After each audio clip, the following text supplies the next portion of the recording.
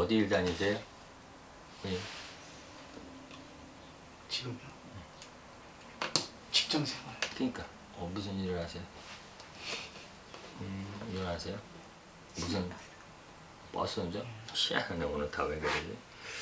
음. 자. 본인은 그냥 보기 전에 그냥 무릎 괜찮아? 아프죠. 아프죠? 예. 예. 한쪽만 아파요 지금? 예.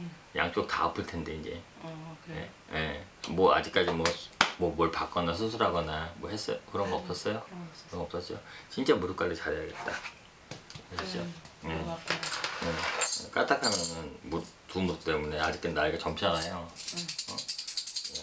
진짜로 노인네 소리 들을 수도 있어 무릎은. 어, 그래요? 예. 그래서 병원 가서 제대로 한번 보고 일찍 관리 잘 하시고 예. 되도록이면 하여튼 본인이 알아서 그런 거 잘 챙기세요. 음. 남편분은 어쨌든 직업이 운전이시니까 예. 그래서 올해가 나이가 60천 남편은 아까 얘기했지만 명이 좀 짧아 아픈 데 없는데도요? 아 그러니까 명이 좀 짧아요 그래서 지금 운전하시니까는 앞으로 3년 후 3년 후서부터 진짜로 좀 안전운행 하시고 뭐 술 드세요? 술은 조금씩. 네, 술은 웬만해서는 그냥 사고수 없, 없는 분위기에서 잡수시고 예, 아셨죠? 술 담배 전혀 안 하는데. 아, 그러니까 조금씩 또. 아니에요. 술 그냥 어. 와인. 음, 어 그래요 그냥 그러니까는 뭐 소주 잔으로 한 반 잔 정도? 그러니까 어쨌든 술을 드시든 안 드시든 물어봤잖아. 그래서 뭐 안 드시면 좋지만 어떤 사고서 없을 장소에서 술, 술자리 가서 듣고 드시고 3년 후에요. 네. 네, 3년 후.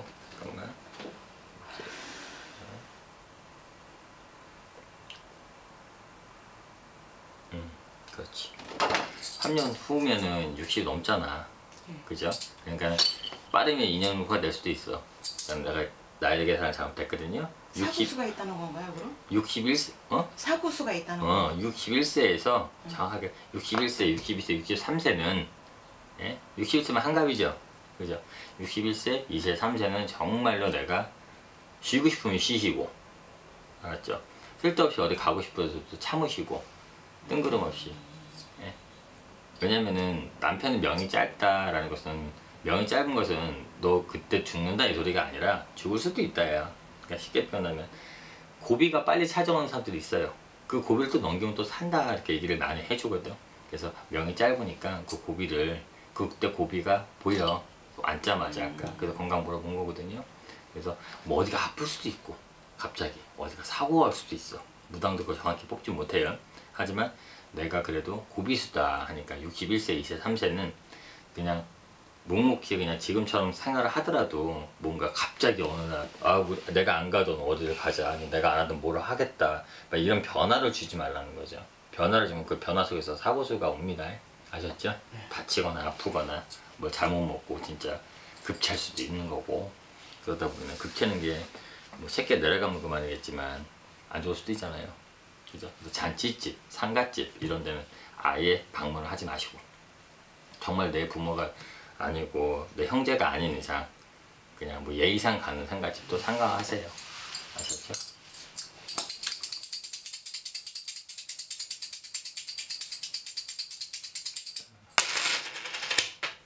제가 아까도 얘기했지만 남편은 그냥 근면성실 예 그리고 자기 길을 그냥 그대로 가고 책임감이 강한 사주여서 어떻게 보면 그냥 로봇처럼 일을 하고 있을 거예요 삶 자체가 그죠? 네. 크게 뭐 속썩이는 것은 없습니다. 네. 그리고 자식이 있어요? 네. 자식 봐야 될 거야. 그죠? 네. 그러면 자식 이름 한번 대. 아 여기다 그냥 쓰세요. 야, 남편은 그거 조심해야 돼. 그렇다고 해서 지금 직장에서 뭐 나올 생각이나 있어? 어, 그런 게 없잖아. 네. 그러니까 그것만 조심하면 된다는 거. 10월 29일. 가끔 무상집에 오시면 우리 집을 팔아야 되나요? 말아야 되나 물어보고 오셔도 엉뚱한 소리 듣고 가시는 분들 많아요. 아니, 근데 아, 양말이야. 이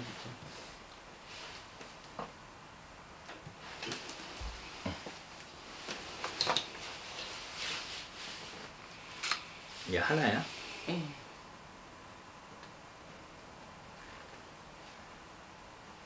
아직 학생이네요. 예.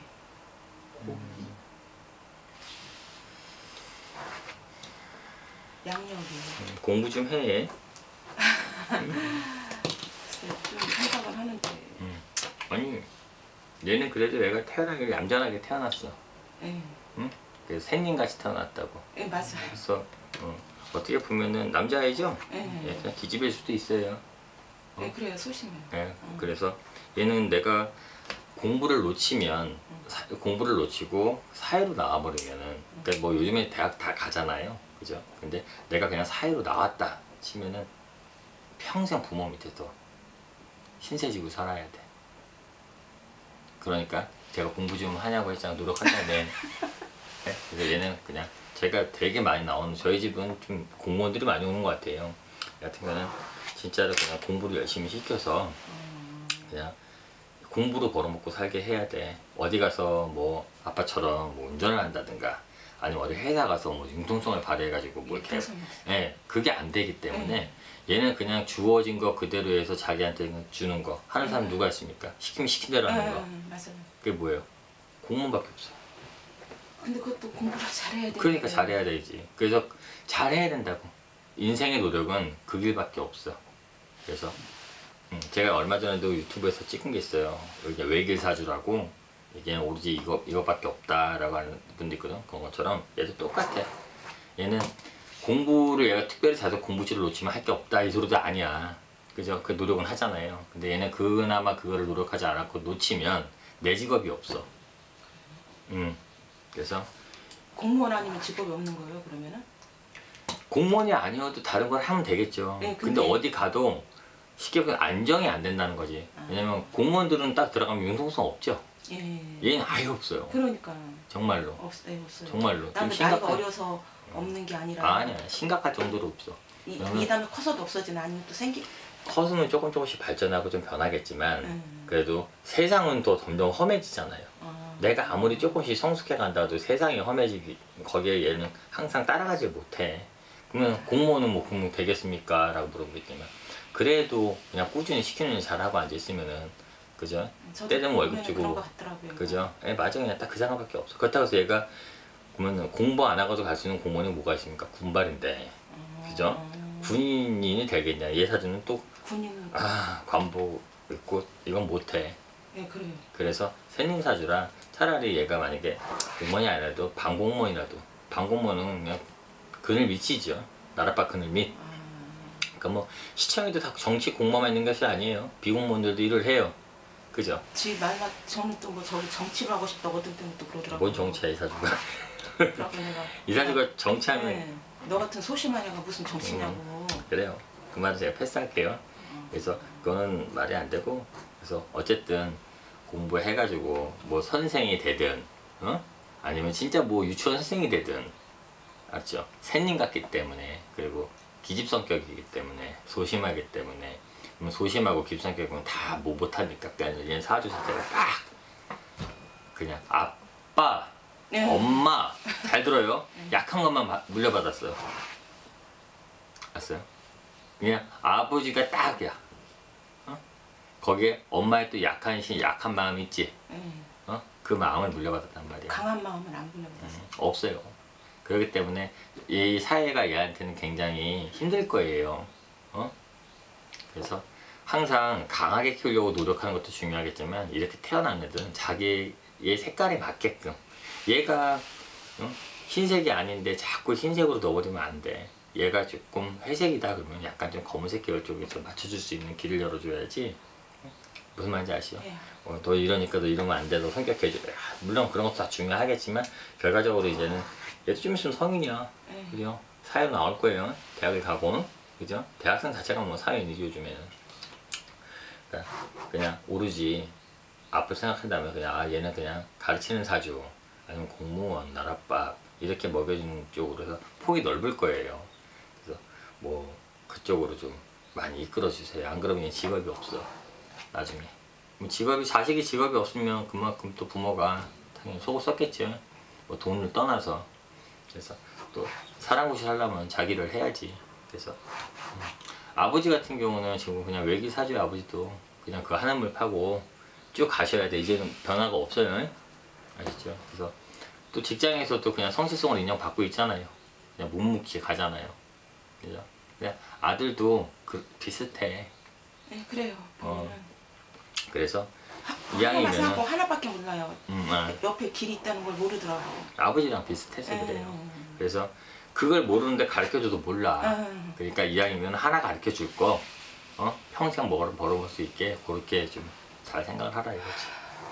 예, 그거 외에는 뭐 집안에 크게 우환이나 엄마는 무릎, 아버지는 혹시 애가 좀 세무공무원 쪽으로 아 괜찮아요. 세... 아, 제가 공무원 쪽은 다 좋다. 했잖아. 그래서 공부 세무 혹시- 공부는 뭐 공부 잘해야지 뭐. 그러니까 그러니까 제가 그 얘기를 하잖아요 아까. 그냥 그 일밖에 없다고. 그러니까 세무 공무원을 하든, 어? 아니 시청에서 일을 하든, 군청에서 일을 하든, 예, 그쪽 방향이 맞다라는 거예요. 아셨죠? 그러면 결과적으로 뭐예요? 제가 아까 얘기했잖아요. 공부 줄을 놓으면 안 돼. 그래서 공부를 해도 그쪽으로 파게끔. 그래서 또 직, 그래야 자기 직장이 생기고 자기 밥벌이를 할 수 있습니다. 해서주면 안 그러면은 부모가 영생 끼고 살아야 돼. 뭐 운전이 뭐 나쁜 건 아니고 뭐 열심히 하시니까 하지만 또 아들이 운전하기 바라진 않잖아요. 그때 이 아들은 운전도 안 해. 그래서 하는 소리예요. 그래서 그냥 나라의 관 속에 그냥 들어가서 편하게 있고 살아라 시키면 시킨 대로 하고 또 공무원들 전망 있잖아요. 그죠? 그죠? 안정적이고. 운전한 지 얼마 안 돼서 한지 5년? 음. 그전에 뭐 했어요? 저기 저는 미술 전공해가지고 음. 그림 애들 가르치고 하는 음. 좀 하고 그러다가 음. 그냥 이제 좀 원래 이제 음. 서양 이래 저기 그림 쪽이 좀 예술 쪽이라 아. 좀 그게 좀 좋아하니까 좀 해서 이제 진로를 음. 근데 왜 갈아탔어요? 밥벌이 아. 그게 그러니까. 좀 생활하에 그러니까요. 내가 좋아서 하는 거잖아. 예. 그죠? 좋아서 했던 거고. 그리고 아버지도 딱 그냥 융통성이 없고 내가 할 수 있는 걸딱 보고 하다. 결과적으로 밥벌이에요. 그래서 밥벌이 하려다 보니까 그죠? 그냥 앞으로 이제 이 길을 그냥 쭉 가시다가 예. 내려오시면 될 것 같고 건강 조심하세요 예. 진짜로. 제가 60 제가 오늘 항상 점집은 우리 집이 어때요? 저희 집이 뭐 저희가 집을 사겠어요? 저 잘 살겠어요? 막 그런 거 물어보러 오세요. 근데 삼창포로 갈 때가 있어. 이거 조심해, 저거 조심해. 제가 이래 그런 소리 들으러 오게 되는 계기가 되는 것 같아요. 보면은 그러면 후자에 선생님 진짜 그런 일이 있었어요 라고 전화도 와요. 그러면 그런 소리 들으러 온 거야. 한마디 무당은 뭐 무당집은 귀신 소리 들으러 온 거잖아요. 내가 궁금한 거를 물어보는 겸사 진짜 중요한 걸 듣고 갈 수 있는. 그래서 아버지는 61세에서 정확히 아까 63세까지는 그냥 어디 가지 마. 상가집이든 어디든 절대 가지 마. 무조건 가지 마. 하고 아들은 지금부터라도 지금 중요한 시기잖아요. 그런 대화를 좀 많이 하셔가지고 이끌어 주시고 또 부모가 또 이러라면 또 아 해요 또 걔는 네. 아 무슨 말인지 아시죠? 네. 예, 왜냐면 그래요. 없어서 자기 생각이 네. 그래서 그걸 만들어 줘야 되거든. 그러니까 만들어 주려면 이렇게 만들어 줘라 라고 얘기를 한 거고 엄마는 진짜 고생해요. 진짜 두 개 다 수술할 수 있어. 그게 뭐 남들은 70 된다, 80 된다 그러지만 그 전에 훨씬 전에 알았죠? 그러니까 지금부터 관리 정말 잘 하시고 지금도 좀 편하게 앉으시고 하세요. 알았죠? 아, 또 그렇게 하시면 될 것 같아요. 또 저희가 또 궁금해서 온 거는 진짜 선생님 말씀하신 대로 집 문제 때문에 음. 왔거든요. 음. 근데 이는 이 집을 만약에 사게 되면 뭐팔 수나 있을지 어디에다 집을 사시려고? 아니 사는 게 아니라 아 지금 얘기하기가 좀 복잡한데 어, 지금 살고 있는 집을 음. 우리가 사야 돼요. 어, 근데 이제 그 집을 사면은 다른 사람한테 팔 수가 있는지 음, 그게 좀 알고 싶어가지고. 뭐 빌라예요? 예. 언덕박이에 있는? 아니 언덕은 아니에요. 평지예요. 형제. 음. 아까 역천 역천이라 그랬죠? 네, 우 선 주소도 저 아니 앉아주세요.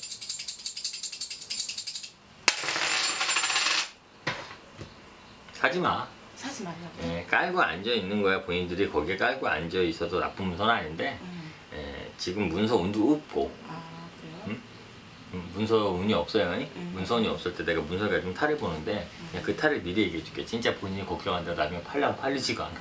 음. 아셨죠? 그렇다고 해서 뭐 거기에 동네가 오래 산다고 해서 지금 뭐 뽀갠다 뭐 한다 이 소리도 없고 아셨죠? 그래서 시계에서 그 소리가 있든 없든 나중에 내가 안다 보면은 한 3년 뒤든 4년 뒤든 내가 아 잘못 샀다 라는 후회를 하게 될 문서니까. 왜? 내가 뭔가 진짜 문서원이 들어온단 말이야 그때. 3, 4년 뒤에. 그때 내가 뭔가 또 내 눈에 들어올 거 아니에요. 그때 내가 못 살 수가 있어 이걸 갖는 바람에 아 그때 이걸 갖는 게 아닌데 라는 후회를 사람들이 하죠. 저처럼 지금은 문서를 가질 때가 아닙니다. 근데 만약 이 집을 우리가 안 받게 되면 뭐 손해 손해를 보거나 그런 건 없나요? 아니 왜 손해를 봐요? 아, 좀 복잡해 얘기를 하면은 음. 좀 복잡해갖고 어떻게 다 일일이 다 만약에 복잡 저도 일일이 얘기를 안 듣고 얘기해 줄게 예, 그냥 내가 안 살 수 있고 나갈 수 있으면 나가. 예, 이사를 가. 예, 복잡하면은. 음, 알았죠? 근데 그 복잡한. 문제 때문에 내가 손해 볼 것 같아서 그 문, 그걸 산다면 음, 어, 더큰 손해를 볼 거예요. 그러니까. 알았죠? 그래서 잴 게 아니야. 그냥 털고 나가. 그냥 지금 손해를 보더라도 털고 나가라는 응 거죠? 털고 나가요. 어차피 내가 가진 문서가 못 돼. 아, 썩은 문서고. 그리고 지금 문서 해놓는데 문서도 안 열렸을 때 꼭 이런 문서들이 와요. 그럼 잡으면 또 후회할 문서야 그래서 문서는 아까 얘기 3, 4년 후에 들었어요 왜냐면 3, 4년 후에 내가 내 사업을 하지 않아도 내가 집에 있어도 나한테 운이라는 게 들어오거든요 응? 누구한테 들어올 것 같아? 본인한테 들어온단 말이야 저한테요? 음, 본인한테 들어오니까 본인 앞으로 해서 3, 4년 후에 뭔 문서를 잡고 싶은 게 생길 건데 만약에 지금 이 문서를 갖는다면 그 문서는 오지도 않겠지만 온들 내가 잡지도 못해 아셨죠? 그래서 차라리 지금 손해 본다면 그냥 이래도 손해 저래도 손해 앞으로 가래로 막지 말고 그냥 호미로 막고 그냥 뜨시는 게 맞습니다 아셨죠? 왜? 아니 그래 저한테 운이 없어도 혹시 이 사람한테 운이 있나 싶어가지고 이 사람 하도 언해갖고 그 집을 들어갔거든요. 근데 그 집을 들어갔는데 너무 저한테는 물론 안 좋아 안 좋아하는데 이, 사, 이, 이 사람하고 애한테는 좀 맞는 것 같더라고 그 집이. 음, 아 집이 나쁘다는 소리는 안 했어 예, 그래서 근데 내가 갖고 있을 만한 문서는 아니라는 거지. 막말로 집을 사서 손해 보면 어떡할 거예요? 내가 그 문서 잡는 바람에 더 좋은 문서 놓치는 것도 손해인데, 어? 그죠? 그래서 물어보러 온 거잖아. 예. 네. 아니 그러니까는 그 집을 우리가 지금 이 집을 우리가 받으면 뭐 1년 있다 2년 있다 그래도 좀 그 가격에 되팔고 나갈 수 있나 있나 그 가격에만이라도 그게 안 된다고 아까 얘기했잖아. 만 예를 들어서 1억에 우리가 이 집을 받았다. 사람한테 이 집을 받는 거예요 1억에 그러면은 우리가 이제 나갈 때 그러니까 제가 계속 그- 1억에 내놔도 이 집에 나가 나가느냐 음, 그게 문제인데 안 된다는. 내 마음과 내 뜻대로 되는 문서가 아닌 걸 갖지 말라는 거예요. 응? 이해하셨죠? 내내 뜻대로 내가 아 그때 이걸 갖지 말 그냥 다 떠나서 아 내가 그때 이걸 갖지 말았어야 되는데 아 그냥 그때 손해 보더라도 좀 털고 나갈 걸. 어? 예, 그런 생각을 하게 될 문서니까 찾지 말라는 거예요. 응? 사람은 손해 보고 싶지 않지. 어? 뭐 그치. 1푼이라도. 그래서 손해 보고 싶지 않은 계산에서 항상 큰 실수가 따라요. 근데 그 이 집주인들이 또 하여튼간 뭐 사단법인 거긴데 집주인들이 너무 이렇게 안 좋으니까 음, 아 이거 그냥 털고 나가. 음, 털고 나가세요. 뭐 고집 피지 마시고요. 네, 아셨죠? 우리 아저씨가 미련을 자꾸 두니까 음. 미련을 너무 많이 막 두고 뭐가 좋아 그 집이? 그냥 뭐 위치도 일단 괜찮고 직장하고도 가깝고 애 학교하고도 가깝고 근데 이제 집에 비해서 가격을 얘네들이 너무 세게 달라고 하니까 집 주인들이 이제 사단법인 그런 집인데 저희가 그 집에 이렇게 들어가서 이렇게 살았어요. 한 15년 정도? 음. 근데 15년인데 우리가 그 집을 분양받는 조건인데 음, 가격을 절대로 싸게 주지 않는 거예요 음, 집을. 음. 만약에 예- 예를 들어서 만약에 뭐 8, 9천이면 살 수 있는 집을 1억에 주는 거예요 예를 들어서. 음, 그럼 우리가 이제 이 다음에도 1억을 갖고 이 집을 내놔야 되잖아요. 음, 음. 얘네가 이제 우리한테 그 만약에 1억이 안 받겠다 그러면 우리가 손해를 보고 나가야 돼요 지금 아 무슨 말인지 알겠어요. 예 그래서 그냥 아니, 우리가 그래도- 원금만, 원금만 이라도 받을 수 있으면은 음, 만약에 우리가 뭐 5천만 원이면 5천만 원 원금이라도 받을 수 있으면 우리는 다 털고 나가는데 얘네들이 원금을 다 안 준다는 거지 그래서 악착같이 하면 어느 정도? 받아요. 어, 아. 어느 정도 받아. 세게 나가. 그러니까 오늘이 세게 나가지도 않았어. 지금요? 그러니까 어. 음. 저희가 지금 내용 증명 보내고 그런 거 한다 했거든요. 음. 이 집을 안 이- 받겠다. 이제 나갔으니까 응. 예, 어느 정도는 받아요. 아. 결과적으로는 아. 그죠. 그래서 우리는 물보다는 지금 응, 그 계약금 넣은 것만이라도 음, 받아 그냥 나가고 싶은 거예요. 처음에 음. 얘네들이 뭐 전세라 어쩌러 전세라는 그 개념을 해서 음. 우리가 들어와 들어왔는데 계약서 그때 좀 나이도 어리고 했으니까 계약서를 또 이렇게 꼼꼼히도 못 받고 그런 것도 있어가지고 음. 그러니까는 이번에 내용 증명 보냈으니까 음. 어, 세게 나갔어요 이제. 음. 그러니까 결과적으로는 그래도 어느 정도는 받을 수 있어요. 근데 그것 때문에 저것 때문에 어, 그냥 산다는 것은 나중에 더 큰 후회야. 그러니까 저도 그럴 것? 같더라고요. 안 올라요 집값도 음. 나중에 뭐 오르고 안 오르고 떠나서 잡아봐야 손해 보고 잡는 거고 팔아도 제가 못 받으니까 괜히 가래를 막지 마시고 후회하지 마시라는 소리예요. 아셨죠? 털고 나가요. 알았죠? 에. 그냥 사이좋게 털고 나가세요. 그리고 두 부부는 이것까지 그냥 보고 끝낼게요. 평생 같이 잘 살 것 같습니다. 아, 왜 좋아요? 싫어? 그 좋은 소리야, 싫은 소리야. 그래서 예, 정말 잘 만났어요. 두 부부가 넓은 아내와 예, 아주 어린애 같은 신랑 예? 잘 만났습니다. 정말로. 그래서 그림이 좋아. 그래서 그냥 좋은 말 한마디 해드린 거고 아들은 약하게 태어났으니 그렇게 조금 강한 그늘 밑에 있으라는 거야. 사이는 삭막하잖아요. 그러니까 약하게 태어났으니까 강한 그늘 나라밥이에요. 그 밑에 가면 잘 살아. 자기 일 하면서 꾸준하게. 알았죠? 그리고 집은 사지 마시고. 그리고 아까도 얘기했지만 그거 조심하라는 거는 조심하시고. 여기도 마찬가지고. 아셨죠? 그리고 새해 복 많이 받으시고. 아 감사합니다. 예.